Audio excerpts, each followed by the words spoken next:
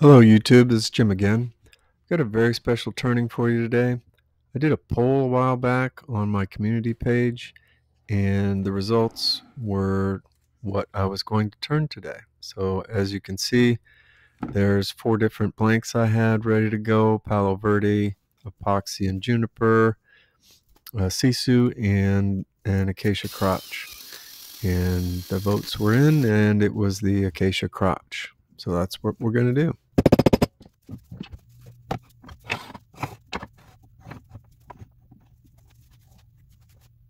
Since this is going to be a live edge, I'm turning between centers and you can see that the angle of the flat part of the log is pretty out of whack with the axis of the lathe and that was so I could get the bark at the same height on both ends of the blank.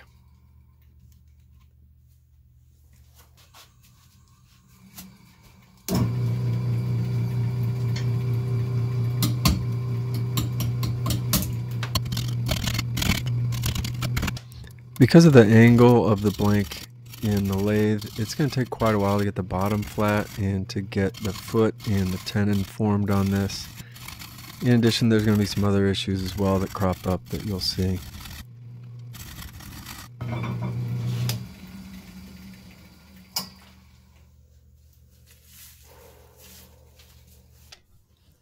So as you can see from the title, I'm going to be giving this bowl away to a subscriber. And all you have to do to enter is be a subscriber and leave a comment down below. And in that comment, you need to start it with the secret word that I'm going to tell you a little bit later in the video.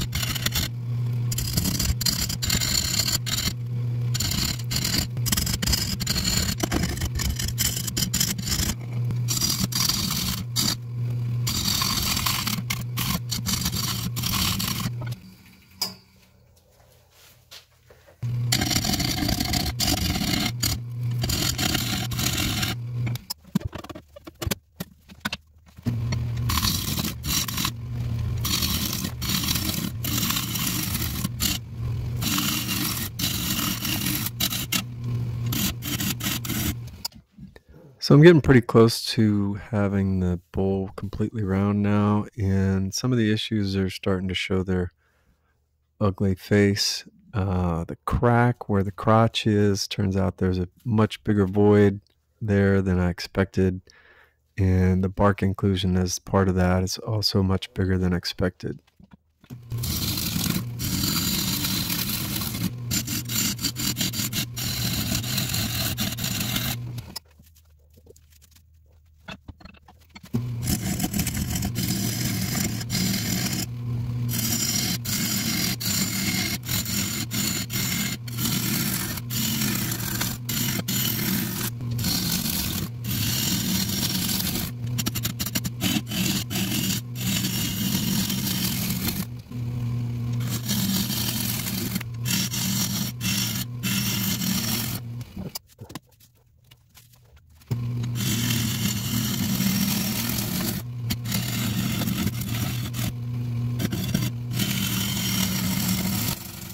I'm getting pretty close here to my final shape. It's quite a bit smaller than I was hoping due to the fact that I had to take a lot of material off to alleviate those cracks and the void due to the bark inclusion. But uh, it's starting to look pretty decent.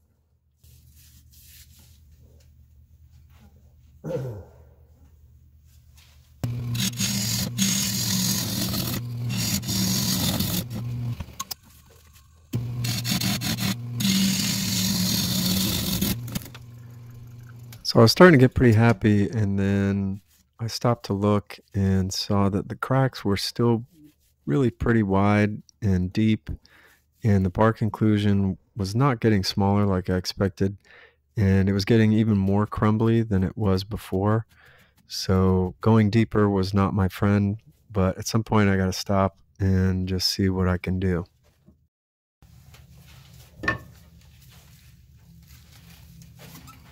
I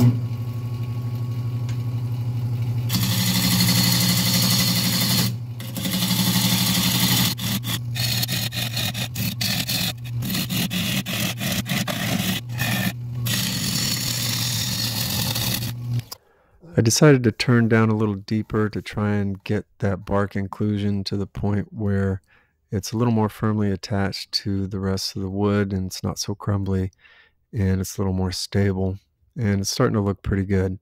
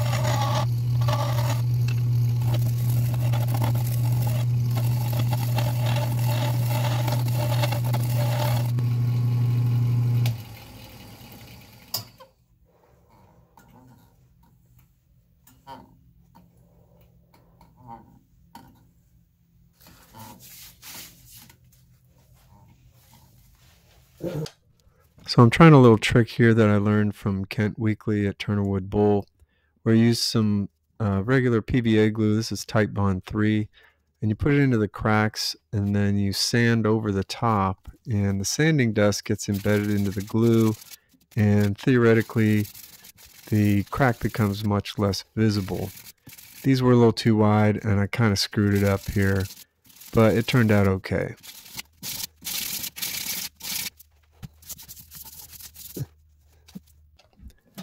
So while I was doing the crack repair, I found a whole bunch more cracks that just were not visible when I was doing the rest of the turning.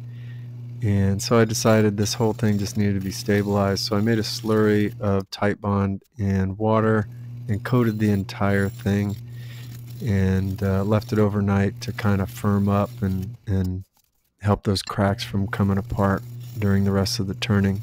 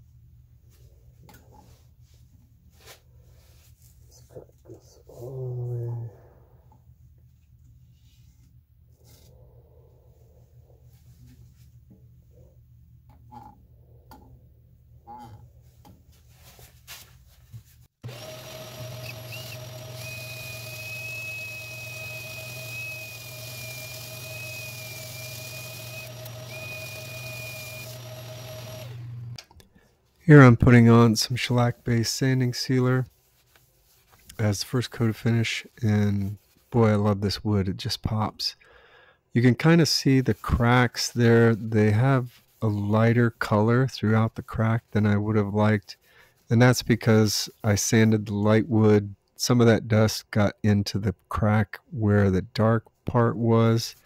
So the whole crack was uh, kind of a mixture of the two tones of the wood, which is a little bit unfortunate.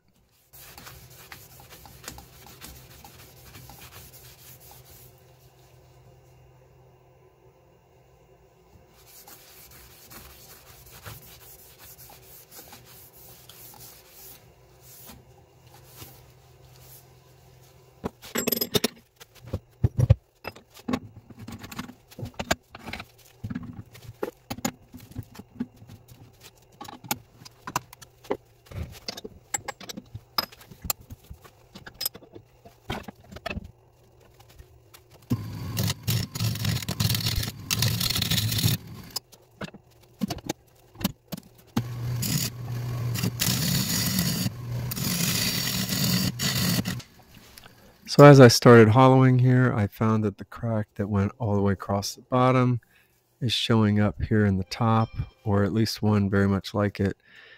And I was worried that this whole thing was just going to come apart and be a complete waste of my time.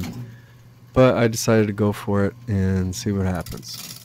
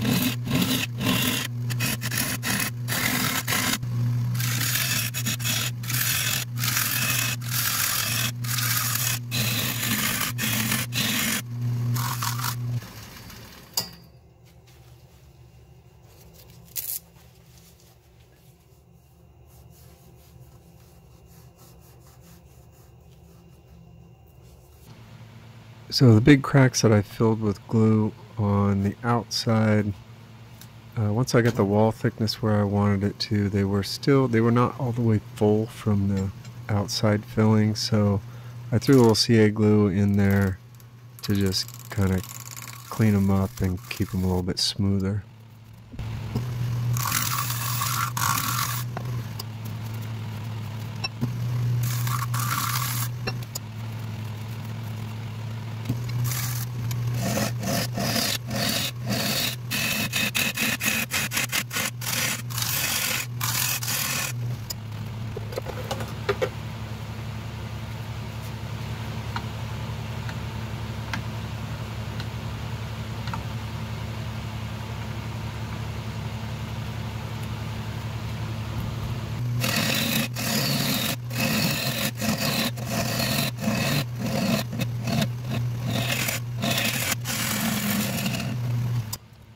Right about here is where I start to get really happy I persisted with this. I can see the feather from the crotch grain in the bottom of this bowl and now that it's survived to this point I'm super excited to see how the finish looks.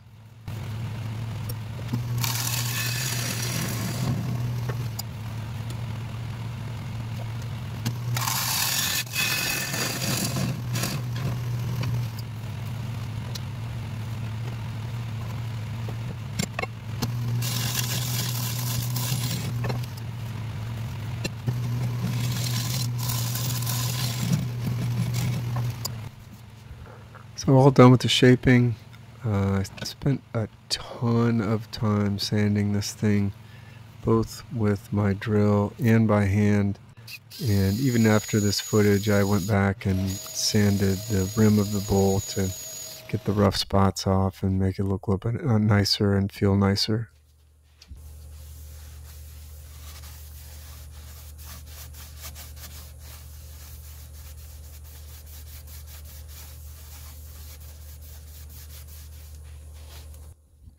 So again, I'm using a sanding sealer for the base coat on this. After I do two coats of the sanding sealer, I sanded it again to smooth out some of the imperfections and then I ran over it with Axe abrasive paste and Axe polishing paste to really make the grain pop and make it smooth and shiny.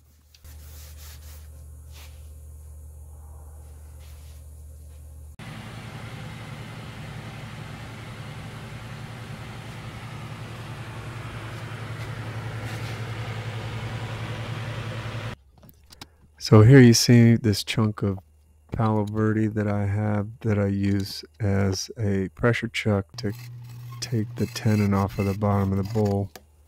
Had to true it up a little bit so that the bowl wouldn't wobble since it kind of got out around a little bit. So right here I'm questioning my life choices because I'm wondering how deep the bark inclusion goes and if I should have kept the bottom a little thicker. But if I had done that and turned the inside, the inside would have blown out. So I think in the end I kind of lucked out here, even though the bottom is a little gnarly.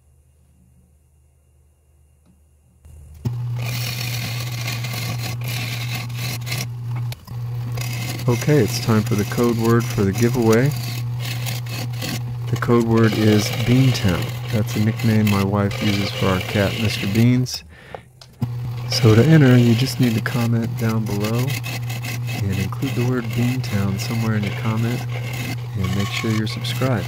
And on August 7th, I will pick an eligible comment and ship the poll out to you. Thank you for watching.